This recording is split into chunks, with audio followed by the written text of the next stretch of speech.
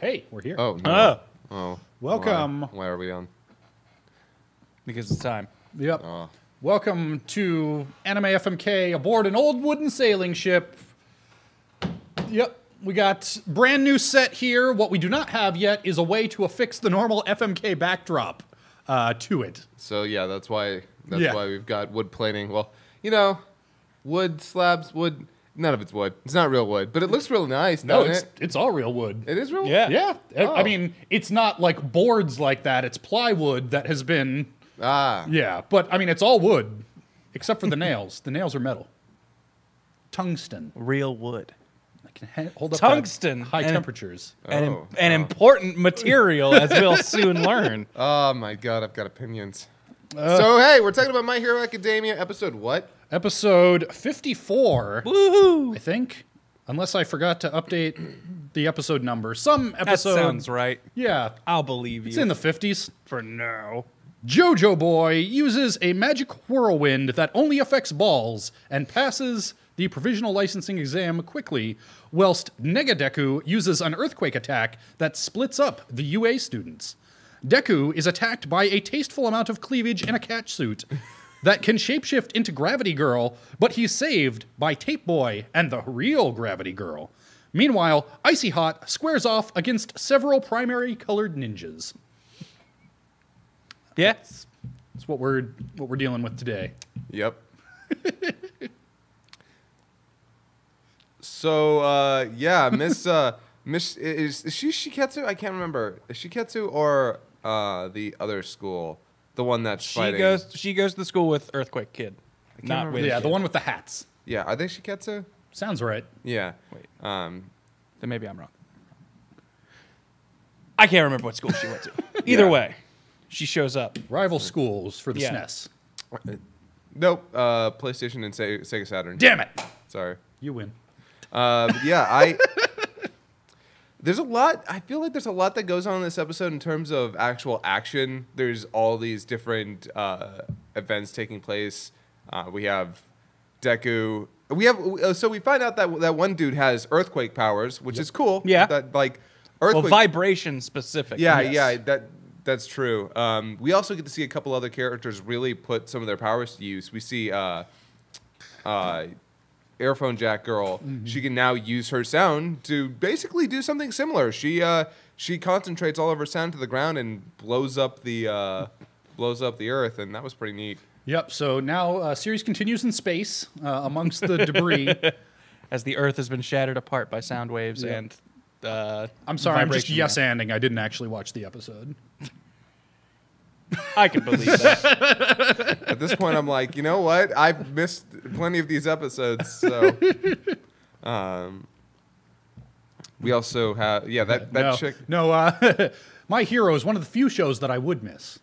yeah yeah it would feel bad if it disappeared. Uh, I was really glad we got to see Sero, Tape Boy, one, Yeah. do something, and two, have more than I think one line in an episode, which I think is now his series max at this Yep. point. Oh my God, you're uh, right. Because he never gets to do anything other than Animal Kid, whose bit is literally he doesn't like to talk, so he never talks. I think he has spoken the least out of the 1A crew because even Tail Kid has had extra lines to reference all I have is a tail. like, so I really like I it was really good to get to see him do something. Be a bit of a character in that he's like, You're in such a lucky position, Deku, getting attacked by a naked girl, and then being like, You saw her rocking naked? Like, just like him getting all excitable at least lets him do something, which I really appreciate because I love his character design, and he's basically like almost Spider Man. So I'm sure he can have some really cool adventures and some fun tape swinging times. Yeah, I like his, and again, I like his new design. I do like the use of his powers right now. It's uh, it's good. It's good fit for him. He is obviously one of those characters who's not exactly in line to get a story about him, but Yeah. whenever, anytime he shows up, he always gets to do something at least a little bit interesting with his power. Yeah, and he, and he got that perfect. There has been no actual time skip, but this very much feels like that post time skip. Everybody's got a little yeah, something. everybody extra. leveled up, and we got to show you what, what perks they took. Yeah, Yeah. so we got that perfect post time skip introduction. Like, oh shit, look at my three strings of tape now. yeah. um, and uh, yeah, I also like the fact that so Deku's fighting this girl who, who can shapeshift. Um, Yep. And so when uh, when she turns into Ochako, uh, and he's you know he's peeking out around the corner, and she tries to tag him, and he's like, "Bitch, nah, you ain't Ochako. I knew that the moment I grabbed your ass." And she's like, "What? Uh, Why would, why would you do that?" And that was that was super satisfying because the whole time I'm thinking, you know what? This show is usually way better. She's been so useless this whole episode. This does not seem right. And having that paid off, like, oh shit, I'm not crazy. this show is being smarter than I'm giving it credit for. I love it. Thank you. Yeah, Yeah. it's it's doing the old making me mad by making me think it's doing something bad, but then when it goes like, no, we knew the whole time. It's like, oh, you're so good. That's kind of Horikoshi, and uh, like he does that a lot. He makes you think that he's doing something either tired or cliche or just kind of bad, and then next thing you know, he does something really cool, and it's like, Yeah. shit, I should have trusted I him. should I should have faith. You've done this to me so many times. Um, but yeah, and also, I'm really happy because a couple episodes ago, I felt like the animation like was very limited for one episode, like noticeably limited. And the last couple episodes have been doing some pretty cool stuff, and we see we get to see the, a lot of that here, especially with um, uh, Shiketsu Girls acrobatics. I really like that stuff. Yeah, and I liked how she was like basically she kind of leans in when she's fighting him and goes like, "No, what I do is I'll throw your attention away and then after that I'll hold my breath. And basically disappear." She's and using at- fucking Zetsu from Hunter x Hunter. Yeah. At first, the way she describes it, I was like, okay, so that's her power. Like she can just go undetected so long as someone isn't looking directly at her. Okay, I get that. But then she's like, no, I can shapeshift. I'm just really good at martial arts and fighting and dealing with situations. Because hey, guess what? While you guys were busy having experiences, we were just being straight up taught what you were having to adapt to. and hey, sometimes that works really well too. Yeah. Now, there's something in this episode that, okay, in the opening, there are three very specific shots that started getting questions from people. There are some people in the opening who aren't in the manga. Interesting. Yeah. And our ninja, quar- like our ninja guys, yeah, nah. Ninja Squad is is uh, anime exclusive. Yeah. Oh boy. Yeah, that's- something something that My Hero Academia hints to forth has avoid avoided doing almost altogether. It's had like one or two filler episodes, maybe three all total in like 54, which is pretty cool. Um, and one of them was a recap episode, and the other one I actually liked because it was all about Tsu and uh, and and Her working with the Otter Man. Yeah, Yeah. That was a that was a real cool episode. Yeah, that um so we're getting filler in the action here, which if you're going to do it anywhere, That's a good this place to is put a it. Perfect place because the manga itself intentionally like uh, intentionally or un avoided going into uh, almost any of the other schools. Like Hmm. it focused on 3. So if if this is just them like all right, we have enough material for 10 episodes, we need 13 episodes worth of material. All right, he, here, have some like ninjas who can grow. like, have a know. ninja. One of them can grow tungsten. Yeah, like it. I, I will say I also noticed a, a few more egregious flashbacks to like the last episode or Yeah. two than I am accustomed to from this show.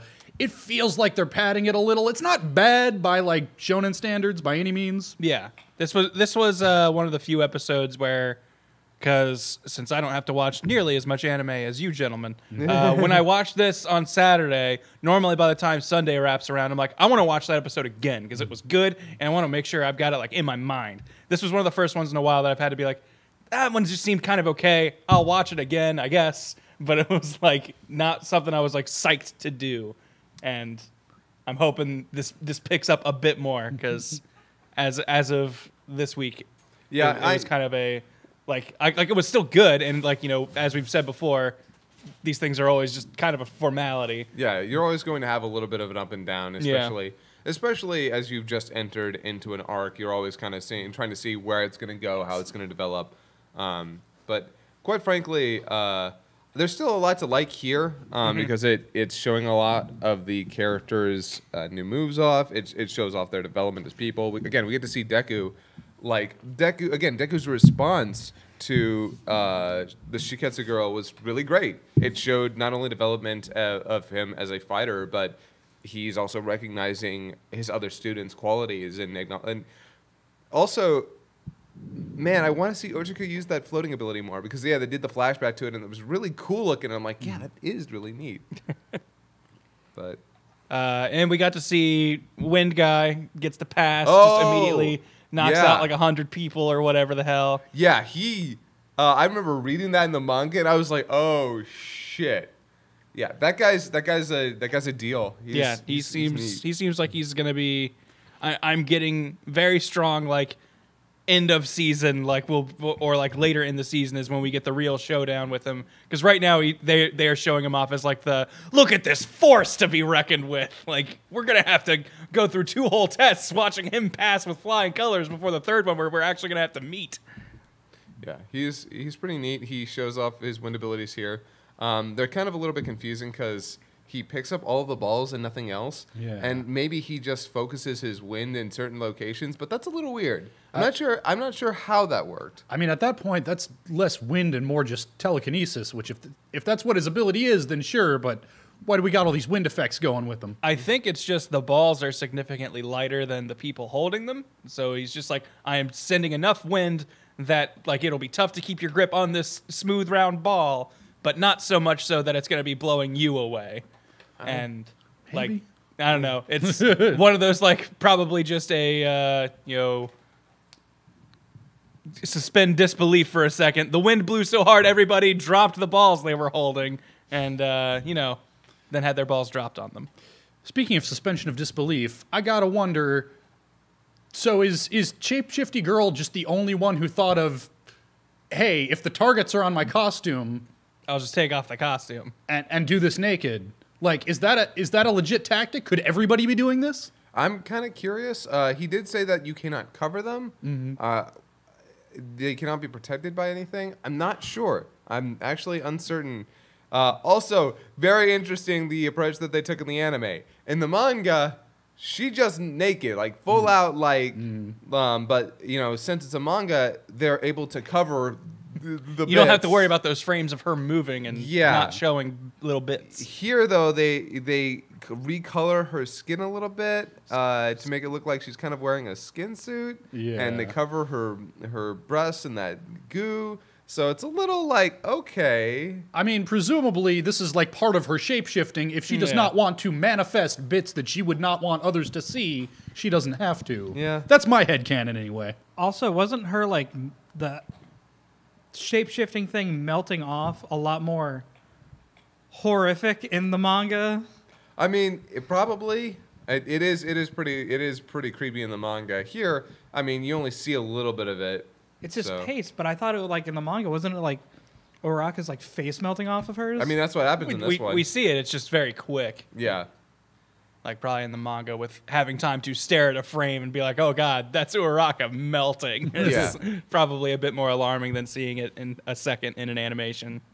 Um, but yeah, she does that, and then my thought is, if her targets are still on her clothes where she left somewhere, what's to say someone doesn't stumble upon those clothes and just go boop boop boop? All right, got her. Yeah. good question. We'll, we'll see. We'll see. so other other thing that we haven't really touched on, we got introduced to another character who I've been calling Ersatz Tamari, who can pull herself into herself. Yeah, the turtle oh yeah, girl.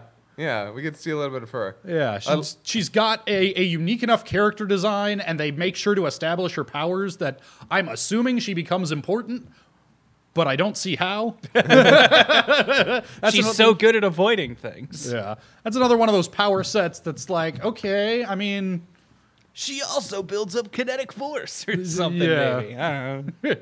I don't know. I mean, hey, that'd be dope if she could like untelescope like a spring Yeah. and like do super powerful headbutts or something. Like, Yeah. sure, maybe. Um, trying to think of anything else that we really get to see. We uh, like half of the people who are going to pass this test have already passed it. We are already like Oh, yeah. well beyond, Yep. like, decently beyond the the fifty people rank of the hundred people are making it in. And as of yet, we have not heard anything about any of our one A reps making it through. So Yep. Nor have we seen any of them take a hit except for Yeah. Deku, who definitively takes a hit from Shapeshifty Girl. yeah. Yeah, uh, that's a really good shot too. I love I love the framing of that. And Todoroki and Bakugo, we know, are kind of off on their own. The earthquake that the one guy sets up sort of splits a lot of people up. Yeah. Um, and Todoroki's the only one we really get to check in with uh, when he runs into our rainbow squad of ninjas. Uh, and that, that's when we learned that tungsten can take a lot of heat and not melt. Yes. Yes. That's that's neat. We learned something Yeah, today. about science. tungsten. Yep. Does seem. I mean, here's the thing. If a large metal object is hurtling towards you, I don't think heating that up That was to a molten thought. state is a very smart idea. That was kind of where I was because I was like, okay, he's gonna throw this thing at him. Like, so your goal is to just erect ice walls to stop everything that's coming at. Oh no, we're going to try and melt this and exacerbate this problem. Okay, Yeah. okay. That seems real bad. Having Yeah. molten lava flying at me seems way scarier. Seems bad in a way that this show usually isn't. It seems filler bad. Yeah. How about the fact that his power is that he can grow things, and yet he's also able to break the ice by throwing a bunch of nails at his feet. Yeah, that's that seems like also. I mean, that's just one of those comic book logic things. I can't say I didn't notice it, but I can't say it bothered me. Might me. be like working at like an ice pick, and he's just like, all right, I'll throw these small nails or whatever, and then grow them once they're inside the ice to like shatter it. Like that's that's that's what how I took it anyway. Yeah. It was just like I'm going to put these little things in the tiny crevices his ice has made, and then expand them to just shatter it. I mean, I do like. Oh, I do like his power in general. The idea of just like, oh, I can grow stuff. So why don't I just hold a bunch of stuff, like, Little things in my pocket and throw little 'em. incredibly hard things. So when I throw them and grow them, I can crush people. That's such a cool yeah, idea. that's cool. Now, is this Ant Man style where supposedly it becomes more dense when it's smaller and less dense when it's bigger, but in practice they never stick to that? Oh my god, that's so. Uh, uh, god, Ant Man two. Oh, we've shrunk the building down. Okay, you wouldn't be able to move it. yep. Yeah, your own logic, your own internal logic that you set up in the first movie makes that impossible. Oh, I mean they they broke that halfway through the first movie a couple of times, just not quite so egregiously. Yeah. Man, it's like why why are you taking such special care to set up these rules if you're not going to bother with them? honestly, I think this dude has like the best power. Cause you can you imagine just going to like McDonald's like I'll get a small fry. Hey, you could solve world hunger. If Yeah, it- we good. Assuming it works that way. See, for me, if I had that power, I would always just get on a plane. Like I would shrink all of my stuff down and be mm-hmm. like, I got nothing. Yeah, Yeah. traveling light. Fucking carry on, motherfuckers. Yep. Never have to worry about a checked bag again. Boom! Here's my car. I took it with me. Rental car? Fuck that. I got this Hot Wheels case. Yeah. No. See, Dragon Ball had to ride with the capsules. Yep. The best. Yep. Anyway, so Hey, what do you know? Eggplants. yeah, What'd you think? it's the best shonen series out there right now, and that's not, okay. That's kind of a backhanded compliment. Uh, yeah, but it's up there in series in general if we're talking coming out actively right this second. Yeah, yeah, it's it's one of the best shows this season. It's still it's still My Hero Academia. I'm loving it. Uh, this this episode in general is not is isn't even like worse than general. It's just also like okay, cool. We're doing more of the battle stuff. it's an episode where it feels like a lot happened, but also it feels like nothing of major import happened. I guess like it's it felt like a lot of like just setting up. Like it's like okay, we're here, we're getting everybody split up, so we don't have this like group dynamic that we had at the end of the last episode where they seemed unstoppable because they're like we're united as friends. Yeah. Uh, and this episode was all about all right. Well, now you have to rely on yourself. Go and. I, I'm just hoping we get more like character stuff and less like situational stuff, I guess, because that's I think where my hero shines the most. And as we said before, uh, this author frequently will kind of do a good bait and switch on you. So I'm I'm guessing that's kind of where we're gonna be going. But it's just looking forward to it. Yep. Also, that one dude looks like one point one punch Android 17. All right, yeah. see you next week. Oh yeah, you're right. Right? Huh. Now, we'll see y'all next week for more One Punch Android 17. I like the animation of him catching it. That that was actually really good. I I'd like the Sakuga on the show. Bye. Bye.